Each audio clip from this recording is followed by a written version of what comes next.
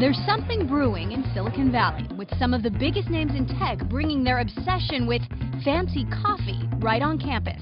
Exhibit A, Mark Zuckerberg, whose favorite local coffee spot, Philz, is now open at Facebook.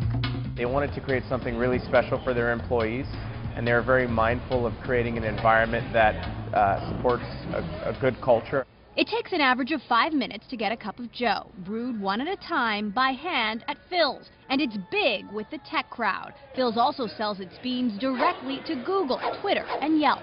A lot of people in the tech crowd like simple things that happen to be delicious and maybe luxurious.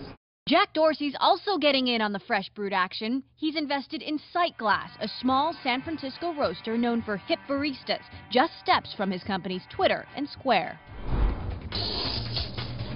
Then there's Blue Bottle, the small chain of high-end coffee bars known for its tech clientele and long lines. Mark Pincus loves it so much, he brought a Blue Bottle coffee bar to Zynga. And Digg co-founder turned Google Ventures partner Kevin Rose has gone from holding meetings at Blue Bottle to investing in the company.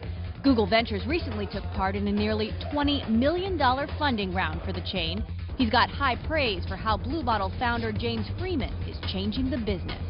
James is one of the first people um, to discover that even though coffee has traditionally been this thing where you grab a cup, you know, you're on the go, you're on your way to work, whatever it may be, um, he was the first one to kind of slow down. Um, that just creates a, such a better cup of coffee than anyone else. A better cup of coffee, driving a new passion for the tech elite.